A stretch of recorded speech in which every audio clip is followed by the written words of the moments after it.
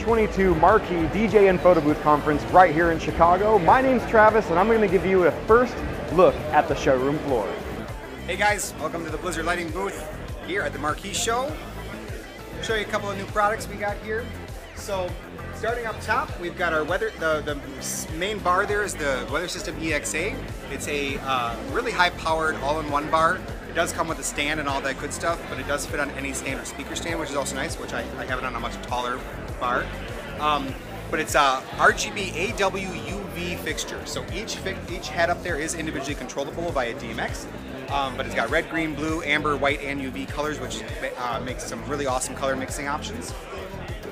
Um, on the sides and on the top, we have our uh, Spotman fixture, which is our uh, little 30 watt gobo and color wheel fixture. Um, kind of, you, can hold in the palm of your hand. It's very lightweight, you, very maneuverable. Um, like I said, I have them hanging off the sides with just a one little screw bracket, which is awesome. Um, and then, but they're completely individually controllable, which is nice. So as far as DMX programming goes, um, you have it's just a, a, real little moving head, which is awesome. You're not limited to anything uh, as far as some other all-in-one kind of gig bars like that. You actually have really individual control over all, all of them. So uh, we, we call this one a gig bar on steroids. so, and on the top, we've got our little mini systems. Um, looks like one is uh, decided to turn off on me. but uh, the mini system is really cool because it's a, a what we uh, snowball effect, which we have. Um, we have a bigger version. It's a 10 watt RGBW uh, globe effect. It's you know kind of like a snowball effect. Um, and then it's also got a little, little laser on there, which is awesome. It's a Starfield laser, green and red. You can see it, it really hits around the room. Put two of them on there. I actually have that controlled by a, by a really easy on-off uh, Christmas tree light uh, adapter. So, because those are not DMXable, but literally on and off, super easy. Make it easy, you know? Yeah. And then on the sides here, we have our very effective, uh, very popular Storm Chaser Supercells.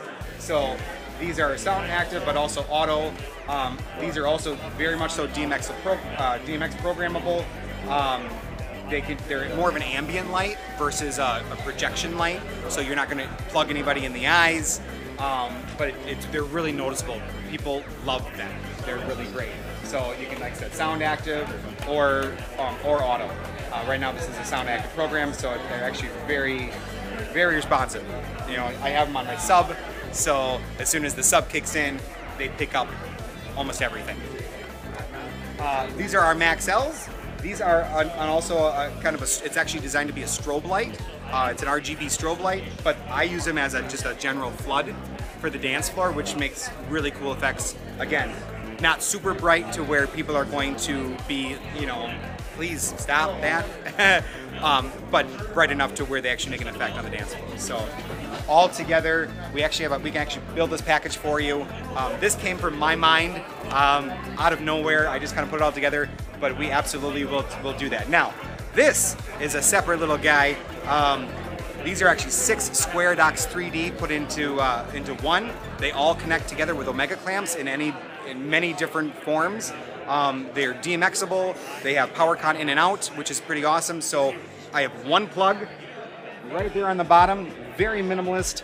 It plug it, it turns them all on. Um, right now they're running on an auto program and they're cool as hell.